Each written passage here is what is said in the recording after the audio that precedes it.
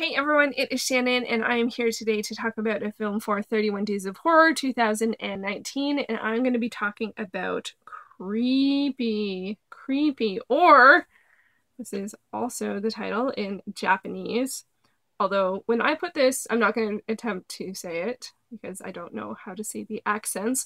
Um, but I put this, at least this last phrase, into Google Translate, and it's the day to day phosphorus is the literal translation, and there was no translation for that, so I not quite sure where they're going with that. Um, but yeah, so I, I was really excited to um, see that this was available on Kanopy because it is directed by Kiyoshi Kurosawa, who did I think the film that I've seen, the first film that I've seen by him was Tokyo Sonata, which is a family drama, but he has done a fair amount of horror in the past. Um, and I know that I've seen Pulse, but he's also done Seance, which I don't think I saw Seance, but I loved Pulse. Um, and so, yeah, so I was extremely excited about seeing this. Um, it ended up being a different kind of film than I thought it was going to be. But before we get into that, let's get into some of the details. And unfortunately, like I, I didn't find a really great poster. That one's not bad. Um, but the and this one's pretty good, but then oh oh it says creepy in English, so that's not bad. So let's go with this one at least for these first part. There's another one, but I will leave that for a moment. So as I mentioned, this is directed by uh, Kiyoshi Kurosawa. It stars Hidetoshi Nishijima, Yuko Tageshi, oh no, Tagesh Taguchi, sorry, Teruyuki Kagawa, and Ruiko Fujino and one more person because I I did not pull his name. So I pulled four names and there's five people there, so bad Shannon. Link to the IMDb page will be down below, of course, as always. Um, this film came out in 2016. Um, it's a Japanese film, it's in Japanese, and I would put this actually more, it is horror, it is horror, but I would put it a little bit more in the land of thriller or mystery.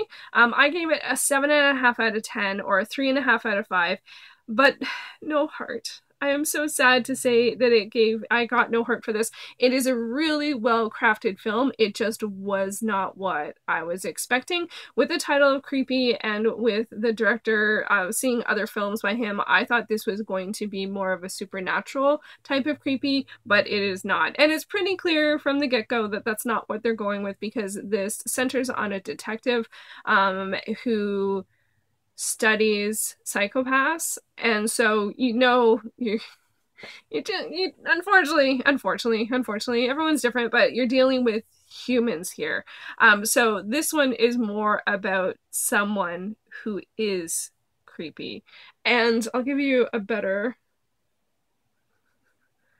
a bit it's also it was at the um berlin film festival. So there's another poster that gives you a bit more of the creepy tone going on here.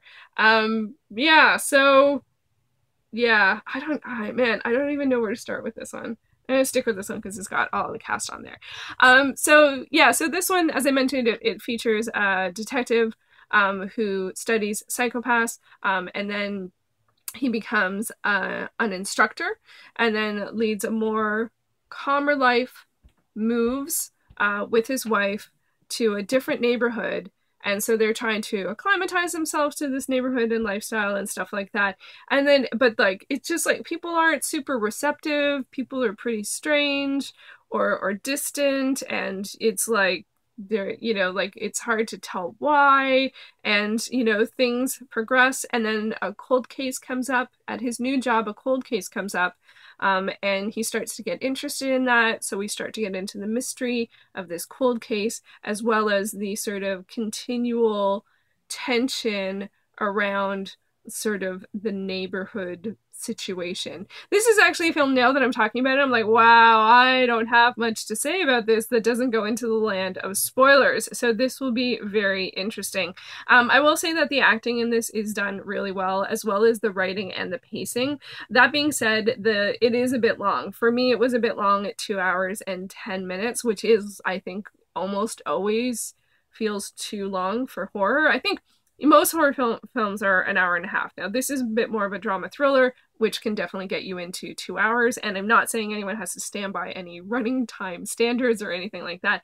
I just felt with myself, I was feeling a little well, you're supposed to feel uncomfortable. That like the title is creepy. like like you're supposed to feel uncomfortable. It plays on that social dynamic of like of uncomfort and comfort and what do you do? And what do you do say something do you not say something? What happens if you decide not to say something? Is that going to make something go further? And then like the complex relationships that start to develop or the complex dynamics that start to develop within the relationships as time goes on and on and on and on and on. And then we also have like lots of emotional stuff going with the the couple trying to acclimatize to a different situation. Um both with each other and like uh, him with his job. She doesn't appear to have a job um, so there's that.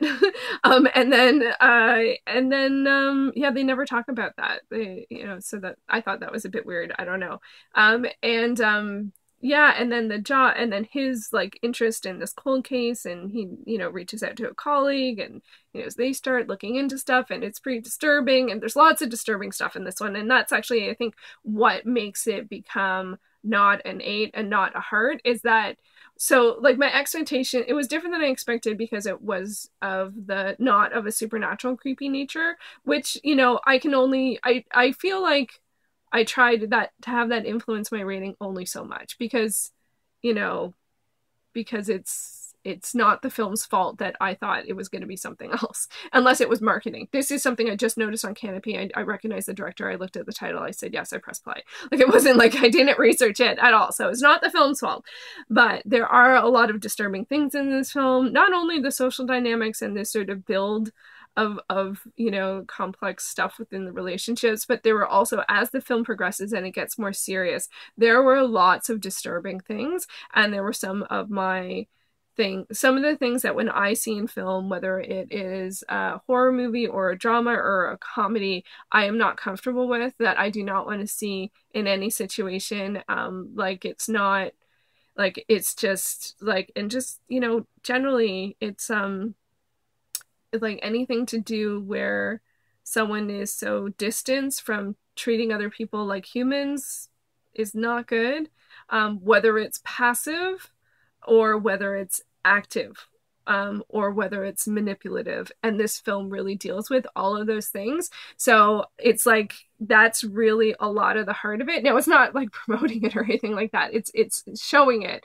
um, and it does it very well. Like it's very um, in terms of uh, structure, in terms of the story and how it is laid out, it is done very well, but it's very, very disturbing. So for me, it just wasn't a win from that point. Um, so which just it really makes me sad. Um, but yeah, so but I do have like good memories of other stuff that the film has uh, that the director has done.